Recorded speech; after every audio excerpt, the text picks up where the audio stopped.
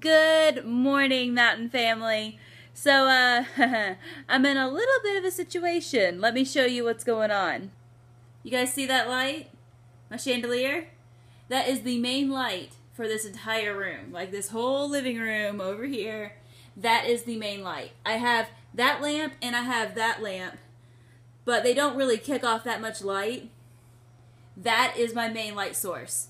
And all of my light bulbs blew last night.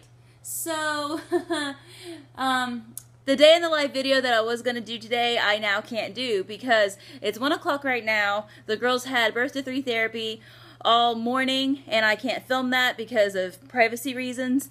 Um, and it's 1.30 right now.